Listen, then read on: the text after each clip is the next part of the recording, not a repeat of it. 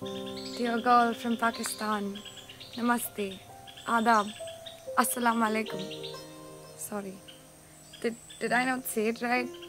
Look, I'm not here to start a fight. I just wanted to say hi. How are you? I know nothing about you except that all that we are separated by is a border not created by us. A bus goes from my country to yours. That's how close we are. A bus goes from my country to yours. Empty.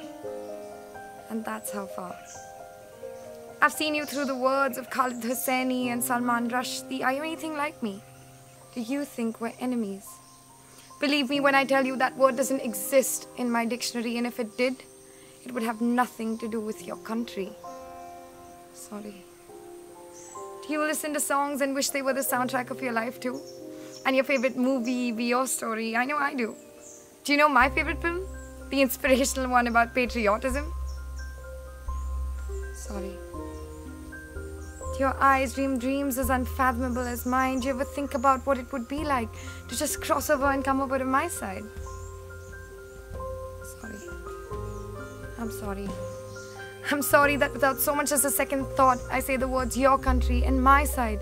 And all that's left that's ours is a common divide. I'm sorry that even my pronouns are possessive, obsessive with the need to demarcate our partition. I have a confession. I wish I knew you better. What does the world look like from your eyes? Did you also play I Spy as a child? What did you see? Maybe you saw the reflection of a girl who was a lot like me. I'm sorry that all I have to give to you is an apology, not even a real conversation. Because up until now, I was so worried about our gap of communication. Treating you unlike the long lost cousin that you are, but as someone I wouldn't even want to know from afar. I'm sorry. I didn't mean it. Dear girl from Pakistan, I know it's taken me 69 long years, but I hope it's not too late for me to say. Forget about what's in the news. Tell me, how was your day?